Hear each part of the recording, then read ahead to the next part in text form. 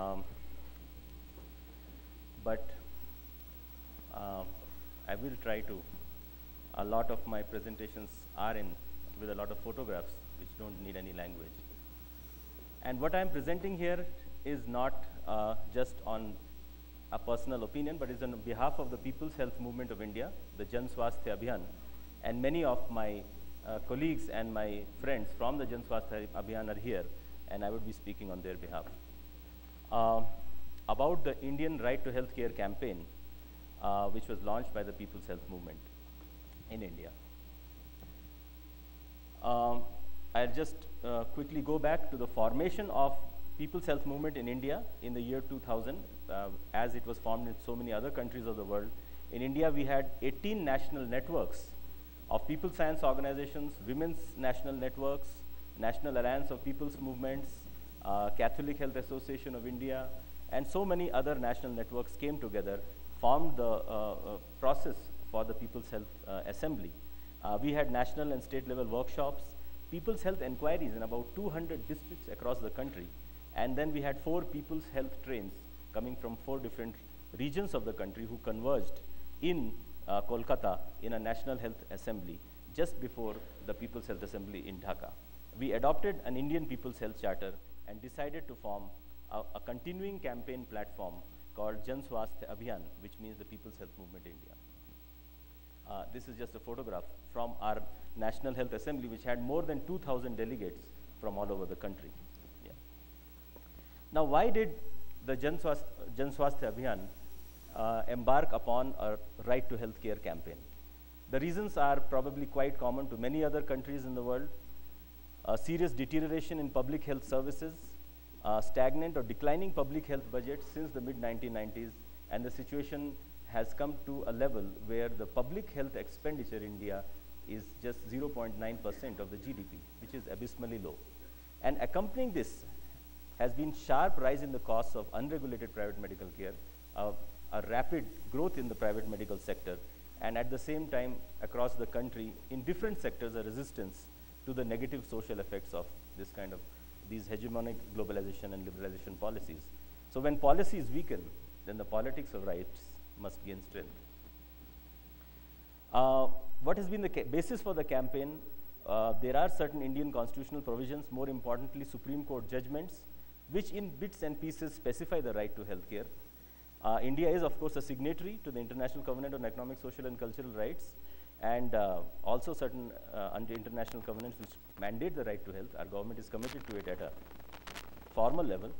The issue of right to health and right to health care is a strong popular appeal and nobody can in principle deny it, neither the government nor any of the political parties. And in our campaign, while we have, while we have taken the right to health as the larger overall perspective, we have focused on the right to health care as a, as a particular campaign strategy. So, uh, as you know, that uh, the 6th of September 2003 marked 25 years of the Health for All Declaration. Uh, and on this 25th anniversary of Alma Ata, uh, we launched our national campaign. Uh, we had a national public consultation in Mumbai, which was attended by over 250 delegates from across the country. Over 60 cases of denial of healthcare were presented during this uh, consultation. And we invited the chairperson of the National Human Rights Commission, and he heard some of these cases of denial of health care, where people had been denied basic health services and uh, their human rights had been violated.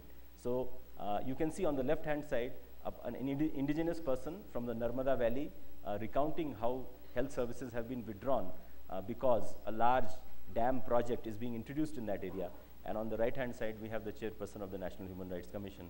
And at the conclusion of this, we took a collective pledge to make the right to health care a fundamental right and to carry on the struggle for this. Now, uh, what have been the elements of this campaign since uh, September 2003, and especially in the year 2004, when the main campaign has been uh, operative? Uh, on one hand, there has been documentation of cases of denial of health care. Situations where ordinary people have been denied basic health services uh, in any kind of setting. Uh, it may be lack of emergency care, it may be lack of health care to women in different situations, it may be lack of health care for children, and uh, in various public health facilities. And at the same time, there have been uh, large-scale surveys of the public health facilities, especially in rural areas. And these have fed into what we have called Jan Sunwais, or People's Health Tribunals in certain states. And that has been followed by five regional public hearings in all the regions of the country, which have been jointly organized by the National Human Rights Commission and PHM India. And it has culminated in a national public hearing. So these Jan Sunwais are, have been an innovative campaign, uh, a tool uh, in, the, uh, in this process. Uh, there has been uh, documentation of individual cases of denial, but also structural denial of healthcare. We have tried to redefine the issue of denial. It is not just a question of an individual being denied healthcare, but when the health services have become weakened to a level where they fail to deliver basic health care, this, this is a structural denial of health care. So these, uh, this has also been documented through surveys of public health facilities. And then in the People's health Tribunal itself, it's like a people's court, where hundreds of community members, uh, uh, representatives come, the testimonies are presented where basic health services have been denied. Health officials are then asked to respond and they're asked to uh, uh, also tell us why this happened and how they will ensure it does not happen in the future. And then there is an expert panel of uh, independent panelists who give their judgment, and this is widely covered by the media. So yeah, this is just the first one of the Jan Sunwais where a woman is making a testimony. Uh, this is the state where I come from, Maharashtra, where we have had six such people's health tribunals in different parts of the state, uh, not only in rural and, and uh, tribal areas, but also in the city of Mumbai. And the denial of health care is no, uh, it's uh, no less serious in, in a metropolis like Mumbai as it is in the remote rural and, and tribal areas of the state. Next. And just to give a few examples of these people's health tribunals, the first in Maharashtra was in January last year, where more than 700 indigenous people uh, they came. This was just in one particular district, and 13 cases of denial of health care were presented. Lack of care in the case of snake bite, leading to death of the person because the anti-snake venom was not available in a series of centers. A lack of care to a child with pneumonia who had went to two different centers. The doctor was not available. Finally, the child died of pneumonia due to lack of care. Lack of a response to a, a gastroenteritis outbreak where two people died, and so on. So these are the kind of testimonies that were presented. In a second uh, tribunal, which focused on women's access to healthcare, which is organized by, uh, the previous tribunal was organized by the people's movements working with indigenous people. This one in, in Pune district was organized by a women's group, which focused on women's denial of healthcare and how women are denied uh, services, basic services uh, in the public health facilities.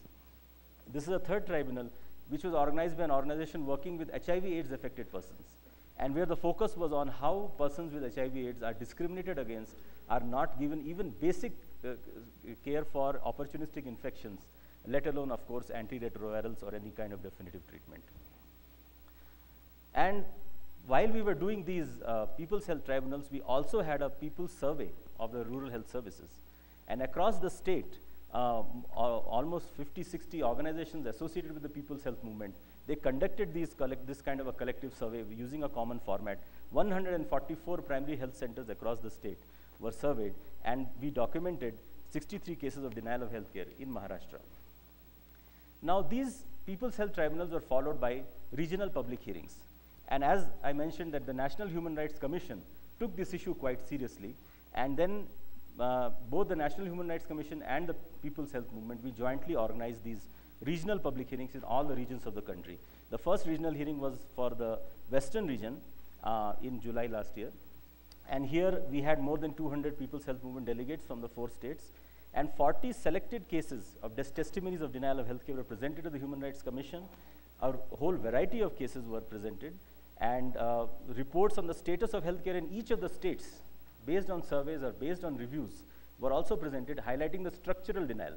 And we repeatedly said we are not just interested in highlighting this particular hospital or that particular health center. This is a structural issue and it has to be addressed structurally. And all the state governments represented by their top health officials who had to respond to these cases of denial.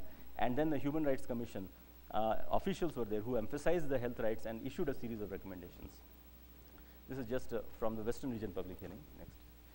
Uh, yeah, next. Followed by, this was followed by the Southern Region public hearing in August last year, where the four major southern states were involved. And again, a series of uh, testimonies of denial of healthcare were presented. Environmental health issues, uh, mental health care issues were also quite prominently brought up uh, in this uh, southern region public hearing. This was followed by re regional hearings in all the other regions, the northern region, uh, the eastern region, and finally the northeastern region of the country. Yeah, next. Now, uh, in these series of public hearings, in each of these public hearings, dozens of cases of denial of healthcare were presented. State level surveys of the structural denial and collapse of the public health system was presented. And finally, we, this was concluded with a national public hearing in December last year. Our central, oh, okay, um, just go to the next presentation. Yeah, just go to the next.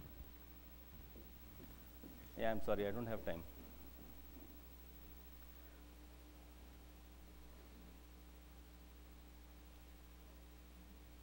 Yeah, so in the national public hearing, uh, uh, we had a series of special sessions on different uh, aspects of the denial of healthcare and a national action plan was declared by the National Human Rights Commission. Now, I don't have time for this, but I would just like to very briefly present the idea of which has been, uh, this is not my idea, this is the idea of uh, a number of PHM activists from different parts of the world of having a global right to health initiative. Now, we'll be talking about this in the afternoon in one of the workshops. So, I'll just very briefly uh, sort of uh, present before you that these are the two global paradigms today. Healthcare is a commodity, oblique safety net, that basically healthcare is something that people have to buy, and governments will give some kind of minimum safety net kind of services, certain vertical programs, versus healthcare as a human right. And why do we need this kind of a, right, a global right to health initiative? At the national level, we have seen erosion of universal healthcare access, weakening of public health systems, unregulated privatization on large scale, and access to health determinants being denied. And at the same time, at the global level, we have seen the global health sector being dominated by vertical, selective, and technocratic approaches uh, rather than universal access. And this healthcare as commodity oblique safety net as emerging as the dominant model to be implemented through public-private partnerships. So if we need to challenge this dominant discourse, we need to create a right to health discourse at the global level and at the national level to, to push for universal access systems as a right and also to mount a global challenge to international processes and agencies that are eroding the right to health, such as patent regimes, the influence of global financial institutions, and global resource flows. So the right to health must prevail over the right to profit. Next. Uh, yeah, so uh, essentially what we are suggesting is that there should be a global initiative which will focus uh, on the taking the right to health as, as a perspective, but focusing on the right to health care and addressing the role both of national governments and of global agencies because we'll have to address both of these together if we have to meaningfully raise this issue.